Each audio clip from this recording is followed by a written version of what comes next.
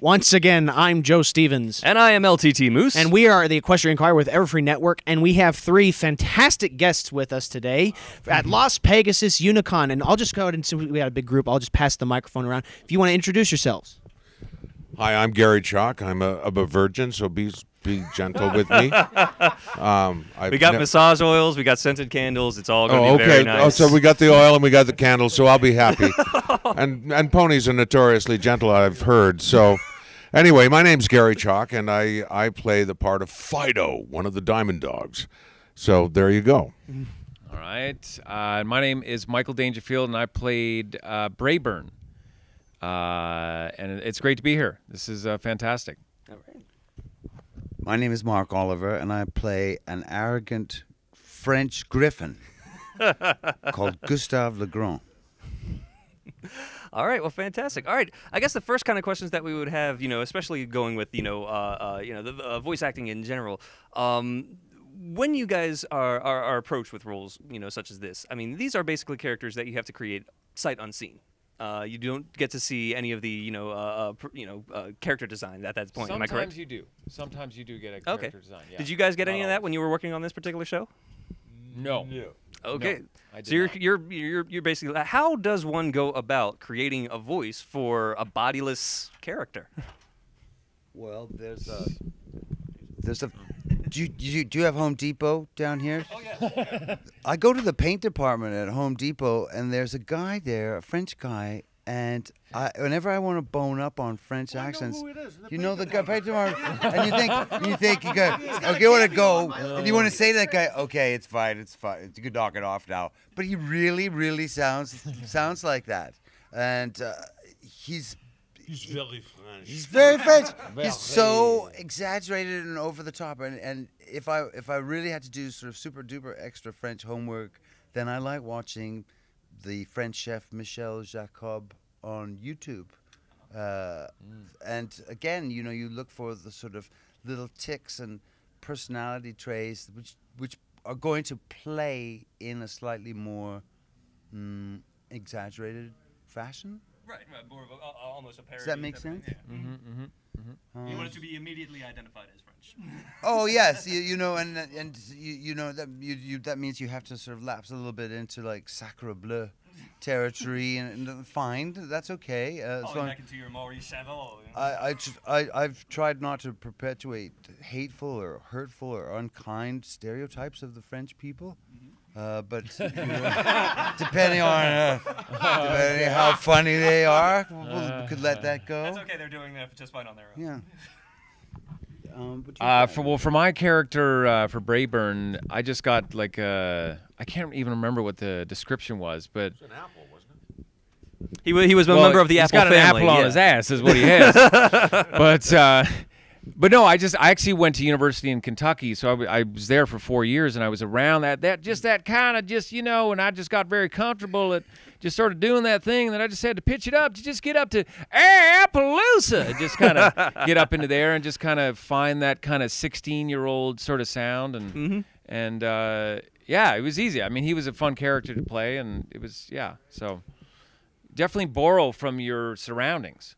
Exactly, I think is, yes. is one way, and then I think just for me personally, you just learn what you're good at, what what your hits are, what you, what Mm-hmm. archetypes you feel comfortable doing based on your voice, tone, and, and your personality. Right. You know, so I you have a you have a you have a set yeah, I just think that there's with, yeah. there's certain things that I just are in my wheelhouse, and then I kind of go after those, and then I try to deliver something good. And I definitely lean towards comedy because I just I've done it for a lot of years, and and uh, but you know I've done some of the action stuff like Transformers too, and Right, So right. it's just kind of finding out what's right for you, and then hopefully you can put a good spin on it. Is there any particular accent that you you know, like like you said you have your your standard you know wheelhouse accents? Is there any particular one that you? Love doing Scottish. Ah yes. just no, whatever. I mean, there's a lot of like, there's a million different English accents you can do, uh, you know. But you sort of Based on each individual city has its own individual. Well, it's funny. Mark you? is, uh, he, you know, he said to me one day, he's like, you know, you should always, you know, you should always be continuing to learn a new accent. You know, actors need to keep doing that. And I just, just that, that guy Paul Meier, right, or Phil, I mean, some things are. who, the, it's always it's always evolving. I went to school in England. I went to one of these sort of schools which don't really exist anymore. Um, and and we were a boys' school. I went to a boys, what they call a public school, but it's a private school. So you had uh, access to all these people, and now I look back on those experiences and I realize that they're really like endangered species. Like voices are endangered species because of the internet and because of the way that worldwide television works.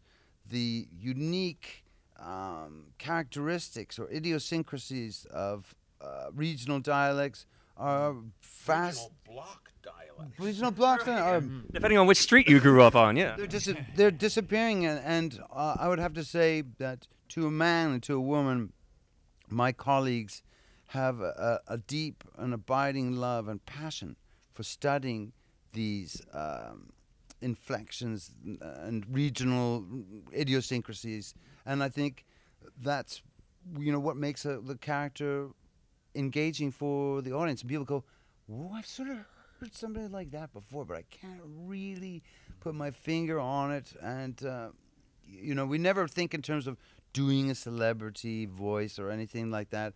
I'd say that uh, the the great voice actors who I've been very privileged to work with and to learn from, uh, they're th- it's always a real person's voice that they're doing, and they color them in and shade them in in uh, fascinating ways. So a pleasure to watch, and I'm always learning from my contemporaries.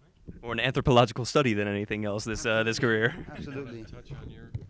Me, I, uh, I, I guess I, I, I would look at the uh, look at the character description to get sort of the the uh, the, the uh, emotional aspect of it because you can get certain things from written that you don't get from the body.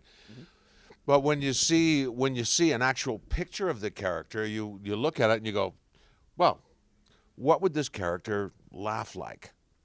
And if you can find the laugh, usually you can find the character because they even though it's a cartoon, you still have to obey physical laws. And uh, if uh, if it's a long, thin, reedy voice, it's not going to come out like this unless it's funny, which it's not.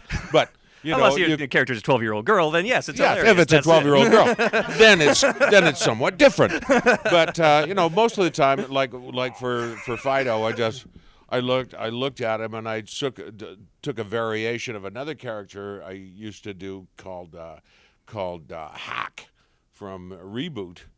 And he had a very rob. yes. You know, you push the button. I don't want to push the button. Every time I push the button, something bad happens. And I thought, well, because it's a dog. So what does a dog sound? What would a dog sound like? A big, angry pit bull kind of dog sound like? And so I said this. Oh, we're going to have kidnapped the little pony. We love the little pony. Come with us. You know. And uh, it seemed to work just fine and uh, that's that's what I, what I would do with all my characters. And uh, if someone is asking for a particular accent, I mean, I do a lot of accents anyway. Uh, I've played on TV, played uh, Germans and Russians and Brits. Excellent Russians. Yes, my Russian. Oh yeah, I had to speak Garry Russian. does Garry does excellent excellent Russians. We you were there sample? that, that on one of those, weren't you? You were there for that. For I was one there. Of those. I, I was I was there.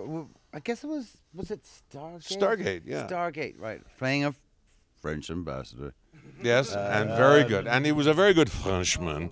But um, the, the thing about it is is is that there are places like there on the on the uh, on the internet there are there accent banks.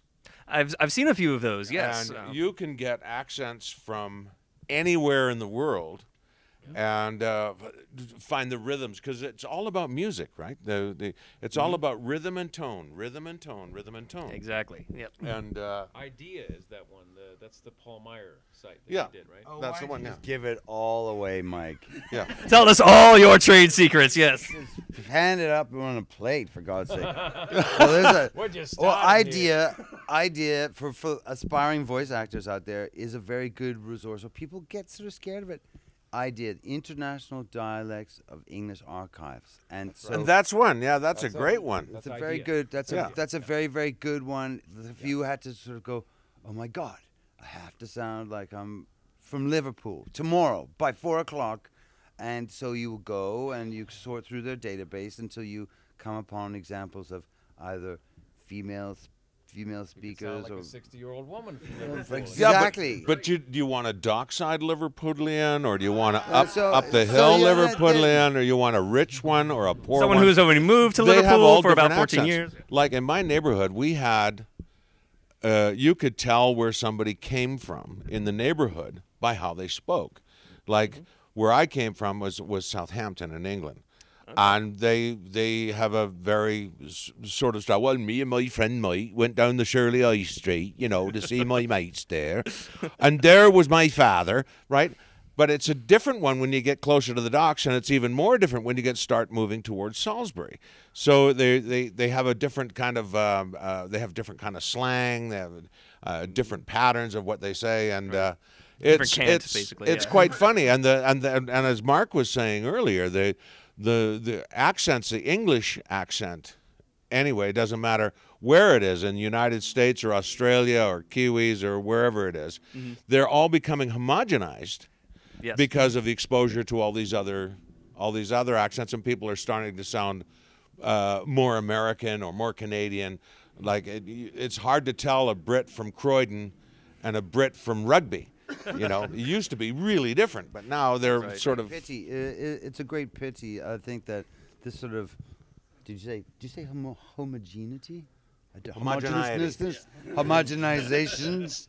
I'm sure some of the grammar scholars out there will tell us. Yeah. Yeah, homogeneous. It's a word that means everything's going the same. like milk. I mean, the United States. I mean, to, to where you know this. It's so funny because I think of when I went to school in England, and people would do very, very, very bad American accents, and uh, and it's so incredibly rich. And I mean, I, I, I love just to be able to step out onto the streets of Las Vegas and hear this vast smorgasbord of voices. And uh, will I try and place people within five or ten miles? No, I can't do that. I've just got, a wooden ear for that stuff. but you know, you know, I mean, Texan voices. You know, to mm-hmm. I mean, how many how many voices are there in Texas? At least three oh I can think of. Panhandle voice. So- Dallas, Houston, Dallas, Houston, Panhandle, the Gulf. There's four distinct accents there right off, and then there's all kinds of variations in between. Austin, you know, something in Austin, who knows, right? Exactly. If you go more Tejano, you know, toward, Yeah. the, toward the west, yeah. and they talk a little faster and a little flatter as you get up towards Oklahoma, and it's uh, it's quite something. I could send out. I could send a general question out to, the, to everybody who is a, tremendously enthusiastic about My Little Pony, and that is, what kind of voices do you respond to, and what's what's what makes it uh, what makes it dramatic or engaging? Do you What's that? like those sort of overlooked voices? I mean, we have access to all sorts of things, and I think. Gosh, no one's ever asked us to be French Canadian, not that often. Or there are few sort of few sort of things, and you work on them, and you think, one day, one day, one day, or you think, I'm going to crack the code of I, I think accent. I think it'd be great to hear a Cajun pony or something like that. Wouldn't that be fun? You're a brave man for Cajun taking on ponies? Welsh. Oh, that'd be funny. You know, with, with Thibodeau, yeah. Yeah, we're going down there in a moment. Yeah. We could call him Gumbo. He could be Cajun Gumbo. C- C- Cajun pony named Gumbo. Gumbo. I, I would see. That's a great idea. Yeah. I know. Why don't they have that? So for all of you who have, you know, your fan one. So for all of you who have those, you know, fanfics out there where the South African pony meets the Israeli pony, we're good to go. Yes, we have now, you know, some some people who are willing No to do that, limitation. No. South African. I could, I can do a South African accent. No problem at all. You know the thing it is, it's right, man. When you go down to Joburg, they've got horses down there. I'm telling you, and they're funny. They can do tricks. So, let's put this into context. It's been several years since you've done these actual episodes. You know, because there's a long lead time between the acting out, the voice acting, and the actual show airs. So we'll put you in the context here. Your agent or, or whoever made the phone call says, "I got this job for you. It's on a show called My Little Pony." What was your reaction to that? What? Flat what? What's it called? And when do we record? I I uh, I, I kind of liked it because I knew about My Little Pony before it was a uh, before when it first became a cartoon series because a friend of mine was in the original uh, episodes. Uh, I don't know if you remember. I think it was uh, Janice Jode. Jan- Janice Jode played uh, uh, some characters on there and did a lot of singing on that show. Um, I thought it was uh, it was wonderful. It was I, I had the same reaction when uh, when they asked me to play a big cloud in uh, Care Bears. You know, because when you think of Care Bears, you're going, well, what do you think we're going to do? You know, and I thought, how the hell am I going to fit in Care Bears? but it it worked out well, and this little character, myself and this little character named Tweezle, which uh, we make all the flowers grow. It was wonderful, but uh, you know, you, you you say, well, this is going to be a bit of a challenge, and uh, when I got there and we did it, it was it was quite fun. And uh, so every every job that comes, it's a it's sort of a new experience and a new um, a new uh, adventure. It's it's another way to go because a lot of times, like I play big characters, and uh, not very often do I get to play little. ones. Really? It's absolutely true. falsettos. There's not a It's ton of the- absolutely true, except I think there was one character I played named Geppel in uh, New Adventures of He-Man. And he had a voice way up here, and he thought it like that. Oh, it was nuts, and I would come out so sore at the end of the day. You think it's easy? You don't know my pain. but you know, and every once in a while, you know, you get something that really, uh, really puts you on the spot. What was your guys'? Yeah, what was your reaction? Well, I uh, something that's quite common, uh, at least over the last five years, at least, is uh, is a lot of us have home studios and we send in the auditions. So you know, my agent said, okay, hey, it's uh, My Little Pony audition for Braeburn, and you kind of you know you work on it at home. You don't actually go to the studio to do the audition. Uh, so you can actually spend a little more time on it. You can do your thing, just make sure it sounds the way you want it to, and, and then you send it in. And uh, so that's what I did. And then yeah, I got the call. It's like yeah, you're you're gonna play Braeburn on on My Little Pony. I certainly had heard of the show for sure. Like I just, but of course, you know, once uh, got involved a little bit further with all this, I had no idea that uh, the fandom is is this big with with MLP. It's it's just it's amazing. So uh, yeah, it's it's absolutely it's very cool. Um, so yeah, I, I mean, because yeah, the show was when did when it was it in the '80s or was that with the original? Yeah, yeah. So it's uh, it's definitely. I, I'm wondering if the fans from the '80s are the are the fans now. Is that Well, What's happening? Like the Transformers, there's there's the Gen One fans, oh the Gen the One, Gen Gen One is it?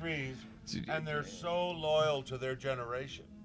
I mean, Right. It, it's killers. It's, ah, He's Gen Three, Gen Three. Three point five is too much. Yeah. Well, and I used to get that all the time with the Transformers because Transformers has gone through so many iterations uh, since 1984 or 82, I think. But um, uh, I had no idea. I mean, I used to do the commercials for Transformers for the toys, for the toys. But that was the extent of my thing. You know, the Transformers Generation 2 batteries sold separately. Ha! And they always forgot the batteries on Christmas morning. They never forgave I them. think the expression "battery is sold separately" was the expression of our childhood. Yeah. Yeah, Kids pretty in the much, 80s. pretty much. Yeah. New from Yeah. Captoy. The, uh, what was that? The uh, Super Soaker 2000. You know, all those those those kind of things. But I, I think the um, oh yeah, microphone. The, the the thing was is that that you would always get someone who would go, yeah, well, you'll never be Gen One. I said, well, you'll never be Gen Two, so shut up. You know, you just go back and forth and back and forth. And it was so funny. There were four of us who played who played Optimus Prime in the uh, in the Transformers cartoons, and of the four, three were Canadian which is uh, odd. The original was Canadian. Peter Cullen, he was uh, from Montreal, and myself from Vancouver, and David Kaye from Vancouver. And then there was that lone out outlier, that that guy, my my pal, uh, what's his face, uh, uh, uh, Neil Kaplan, who's a great guy. I just I really like him. We've been around to a few things, but. Uh, as I say, it's just like you know, they, they, they all have their own loyalties, and some people have their own herd loyalties, right? You know, there are some people who just go stay with this group, and then there's someone who will stay with this group, and you never really, you never really conceive of something like that happen. Like, you know, when I first got into cartoons, I just thought, oh, another job. It's just cartoons. And when they gave me the Transformers job, I, oh, it's just a, a Transformers job. Mm-hmm. But I had no idea no idea that it's that's behind it. worldwide. And now you get people from all over the world. And the same with My Little Pony. And even my little character who has like, you know, when you go there, I think the shortest YouTube video ever. the shortest YouTube video ever, it's three seconds long. And it goes, oh, there's my little pony, and grab, and then it's over. And I go, oh, that's terrific. But but they are, it's it's had like I don't know, thirty thousand views, and I'm going, that's just weird, you know. But it's again, My Little Pony is another thing that's all over the world, and um, I think I- I'm, I'm quite frankly, I'm, I'm kind of honored and humbled to be a part of that worldwide phenomenon. So there you go.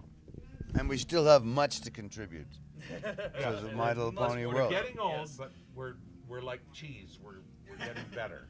That's right. We do. We do get Like a better. fine wine. We do get better as we get older. So, Mark, what was your reaction? I was going to say that I have to pinch myself uh, when I, if I get cast on these, you know, very iconic shows.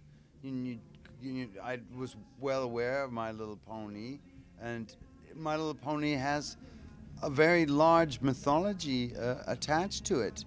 So, you know, and then I got cast, and then I, was, you know, was trying to do as much homework as I could, uh, because I, I like that. You know, I'm, f- doing cartoon voices is the only thing that I've been accepted for really creatively in my life. I mean, that there was a, a sort of a tangible check attached to the session. I mean, I've done all sorts of, I've had all sorts of creative pursuits, so I have a lot invested in it, and I'm just very happy to be accepted by, you know, some small slice And, and of your character public. actually was the Braeburn and uh, Fido were a season one character, and your character came in on season two. So, had you been exposed to it all of what season one was about? Had you seen any of the show before you actually did your role? I pay attention to I pay attention to everything, and you know I pay attention to shows that I will never ever get cast on because, uh, you know, I mean I, I can't. St- there's one particular show. It was an English show. It was done with stop motion animation or sort of marionette animation, and it was there was talk of it coming to uh, our town, but it is now going somewhere else. Which one? I don't know if I'm am I allowed to say. Th- There is there is a there is a pony convention in Vancouver coming up. Yeah, there's a All right, pony, I'll say pony it. can. Thunderbirds has gone to Oh, New Zealand. Oh, Thunderbirds. That's right. That's right. So, Yeah. so you know, Love so, that show. Love that show. I love that show too. So uh, you really love getting. Uh, it's a big thrill to be accepted on these very iconic shows. I didn't like the movie though. I gotta say. No, I gotta say, I loved I loved the original Thunderbirds. I used to watch it all the time when I was a kid, and Brain Boy and all the uh, I loved you know it as well. I loved in Super Marionation. Yeah. Love that. that was the hook. And uh, the old guy who played uh, what's her face? Um, what's her name? The the woman Lady woman. Penelope. Huh? Lady Penelope. Lady Penelope. The guy who played her chauffeur. The old guy who played I was always trying to teach myself how to walk like that. Yeah. but Penelope. he sounded he sounded exactly like I thought it was Peter Sellers playing the voice because he sounded exactly like the guy Neddie from from uh, the Goon Show. He said, Oh, yeah, "Right well, now we're just going out there, Miss Lady uh, Penny Farthing or whatever her name is, Penelope." Oh yeah, I'm s- It's- definitely informed it for sure. Yeah, it sounded just like that character, Definitely. and uh, and the same with this. one. The thing I like about this show, I've been watching, you know, some of the shows because I have to do my research, you know, and watching some of the shows, and I gotta say, the, the cereal in the morning as you're sitting there Saturday morning. Oh, yes. that's just That's right. that- yes, the Crunch, Cocoa yeah, Puffs something or the uh, the cinnamon toast. Yeah, cinnamon, uh, Yeah, cinnamon toast. A man yeah. of taste. Yeah. Yes. But um, I, I'm I'm finding that uh, you know, despite the, the the characters are a little bit out of my ballywick. I'm not really a big pony fan, but I really like the writing of it. The stories are great, and it's quite uh, addictive. And some of the characters are just uh, are just adorable, but it's not you know something that I would go out of my way to to watch because it's uh, it's just not my thing. Then when I watched it, I'm going, wait a minute. I think I'm turning into a brony. no! No, wait. No, no. What's this?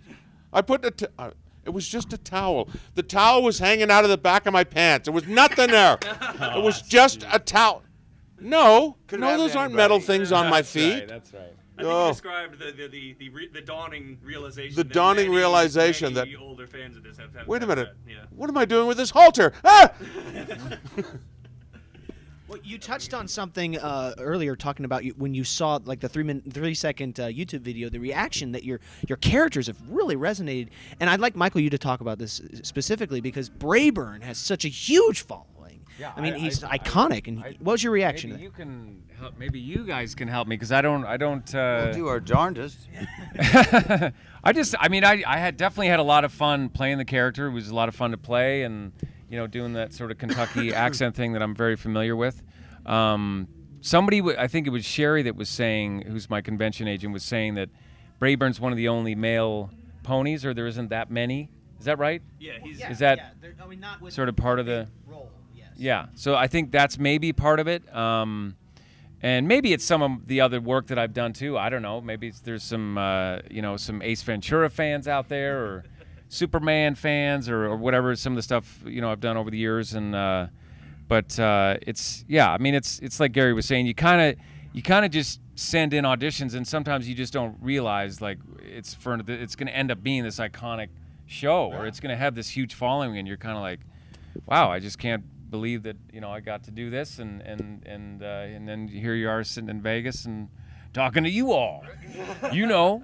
So uh, yeah, no, it's very cool, very cool. Yeah, and I, I know like and I've checked it out online too. Like I know there's a lot of like the episode I think that I was in on YouTube's been viewed like a hundred thousand times or whatever. Like it's just huge views, and then there's clips and there's all there's a Facebook fan page I think for Braeburn, which you know. to come back. Everyone Yeah. wants to see more Braeburn. So maybe I well I was in the shuttle with uh, two of the head writers, so maybe I uh, I should pass along some of those uh, tidbits of information there. Yes. So uh, yeah, But uh, yeah, speaking of that, you know, speaking of uh, like, I guess you know, segueing into the online community aspect of it. I mean, you guys have you know long illustrious careers, you know, doing these uh, doing these characters for, for, for many many years. And but of course, you know, now with the advent of you know the internet, the rise of social media, uh, the fans seem to have much more access. I, w- I- I would say they have, you know, uh, they, they, they catch a person who's said one line, you know, ba- you know, w- welcome to Appaloosa, and they can identify that person, and then they can, you know, follow you, find out on your work. Has that? Have you guys been affected by that at all? You know, as far as like you know the, the social media aspect of it. well, I think just I mean be, the reason why we're here probably just because they probably investigated our work and and certainly had a chance. Maybe they didn't see the episode and they can see it online, or people have done Facebook fan pages or whatever it might be. Um, yeah, I think that's that's certainly a part of it. There's a girl in South Africa who's crocheted every single character that I've voiced and Right. showed them to me. That's amazing. So And one day you're gonna wear every single one on your body at the same time. Well, I was just. I mean, I was, I was, I was, I mean, I was, I, I was delighted. She did a very fine crochet job on them. I mean, That's uh, incredible. it's incredible. And people do, yeah, people do reach out through social media and they want to, they want to to, to know more. And Part um, of the thing is that being a voice actor, you know, and, and Garry, we've all done TV, and I, Garry's probably done the most out of us in terms of TV and film and stuff. But uh, being doing voice, you don't get contacted or like you know at least pre pre internet sort of you know when all that started. There was no sort of like, oh, I know of this person because they did this voice. I mean, voice actors were just behind the curtain, Right. like the Wizard of Oz, doing our thing, and we'd leave the studio. about that in a minute. And that's I was the voice of the Wizard of Oz. No, no, I'm just kidding. He's right. That was me. Um, but no, I, I wouldn't put it past you. So that's what I'm trying to say. But uh, it's it's just kind of cool that you know you end up being noticed or people like you know because even when I did Ace Ventura, which at the time was a big high profile job. And I, you know, we, I did some some interviews with it and TV Guide and stuff like that, but it didn't. It certainly wasn't There you were know, no- there no Ace it was no, there certainly wasn't. Which maybe you know, 20 years later, or 15 years later, there might have been some something around it. Or I would have went to Comic Con or who knows, whatever, right? Stuff like that. So it, it's cool to be recognized a little bit and say, hey, we really like your work because it is artistic. What we're doing, it's very creative and It's a and we're hustling. Like you know, there's voices that we do that we really.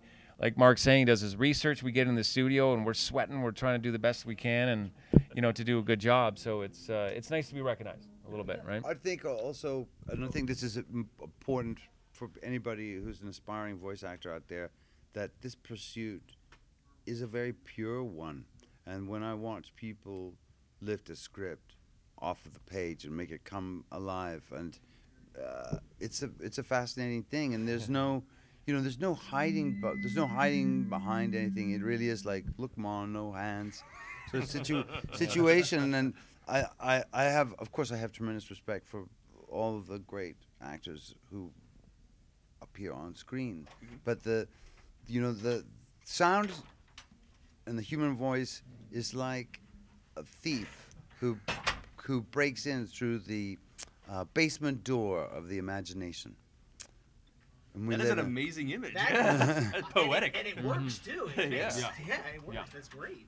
Very well said. Oh well, there we go. So this- yeah, we'll write that down and use it for later. And my biography, this will be the title. That's right. That's good. Well, my, Oh, yeah. you want sorry, to I was going to story? say. Okay, yeah. So I'm I'm shooting a, a movie over in Victoria called um, called uh, it was about this band, the Big Time Rush, from the Nickelodeon. I guess they're on Nickelodeon, and I was doing the, the Big Time movie. And one day I was thought I'm going to go downtown because we were in Victoria in BC, and I said I'm going to go downtown. So I got in the bus and I said, "Hi, how you doing?" to the bus driver. Uh, just want to get down to the Empress Hotel. Is this the right bus? And from the back of the bus, I hear, "Wait a minute! I know that voice! I know that voice! Optimus!" that happened to you, really? And I went, Classic. huh? Yeah, that and this huge black guy who was in the Navy, in the Canadian Navy, came running up to the front of the bus and he goes, Are you Garry Chalk? And I said, Yes, I am. I knew it. I know that voice. I know that voice. And I thought, well, I'm just going to take a ride downtown on the bus. Well, no. Now everybody goes, anymore. I thought it was you. You're that guy. and I went, oh God. But I've heard so many times in my life. It's it's the weird. It's a weird form of fame. It's called, you're that guy, or I know you. And it says I'm on television. Nope, that's not it. I know you from you were at my sister's wedding. no, I wasn't. But I've heard you're that guy so many times that that's going to be the title of my autobiography. You're that You're guy. that guy. You're that guy. Almost famous, but not quite. And I get recognized by my voice about three or four times in a in a year. You might get someone come up. I knew I knew that voice. I've heard that voice, and it's particularly funny when the customs guy, when you're going through the border, goes, "You're that guy. How you doing? Oh, I'm doing fine."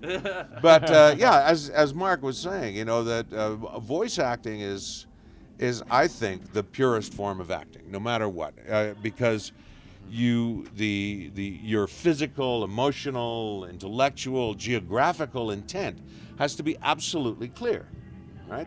If you're in a field, you're in a field. You're not in a closet, and because they draw around your voice, rather than you voice something they've already drawn, you've got to give it that extra little bit so that they have something to work with when they're when they're doing their um, doing their their animation, and uh, and I think uh, because you have no physical cues or no facial cues, everything has to be done with your voice. So it's uh, it's a real challenge to anybody to to grab a script and read the script for the first time and lift it off the page right away and create something living and something that you care about.